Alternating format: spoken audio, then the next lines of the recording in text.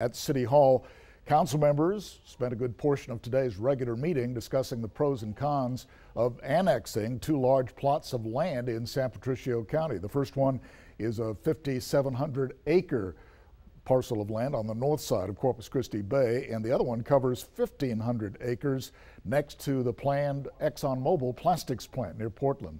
Our Brian Burns live at City Hall tonight to tell us why some San Pat County residents showed up to express their opposition today. Brian? Well, Joe, we've got some actually some breaking news for you here. Just moments ago, City Council approved the annexation of the more than 7,000 acres of land in San Pat County, with Michael Hunter the only dissenting vote. Now, Mayor Joe McComb, at the beginning of public comment today, made some clarifying statements regarding the annexation, citing bills in the current session of the state legislature to limit annexation by cities. McComb says they move now to begin annexation right away. Facing the unexpected but critical possible deadline, the City of Corpus Christi decided to bring forth agenda items to begin annexation process.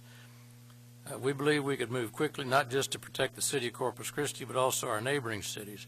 Our goal is to protect our area from this anti-city, anti-planning legislation. These agenda items do not necessarily mean that the actual annexation will occur, but they can result in the process that gets it started. categories for the friends. I still need you, but for a moment as soon as I get done with this. Now, McComb also quoted San Patricio County Judge David Krebs, who says the county uh, would still be able to collect taxes from affected industries. The annexation would make it possible to provide services and utilities to existing and future industries in that industrial corridor. During public comment, more than a dozen San Patricio County residents and public officials protested this proposed annexation.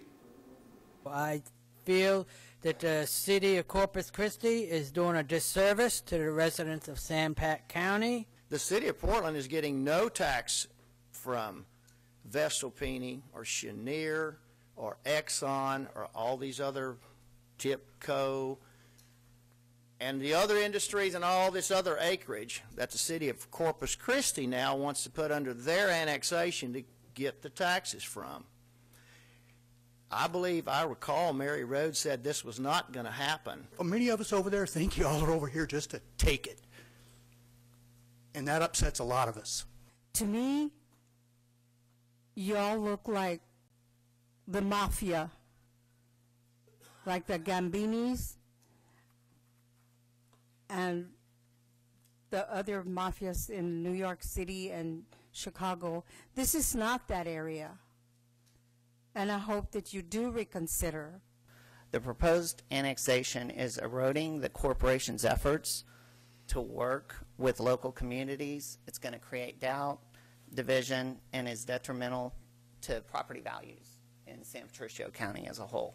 Item, then there can be some, if you've got certain questions that you'd like to get answered, there can be some dialogue in that period. In the public comment period, we're, we'll just simply be here to listen uh, because we're prohibited, and I guess you have that same role. Yep.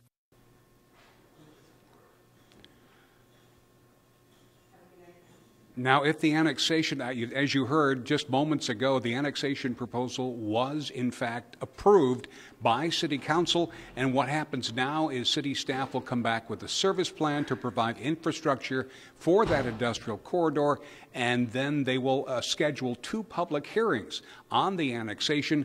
They hope to be done with the process sometime in May. Live from City Hall, Brian Burns, 3 News. Joe?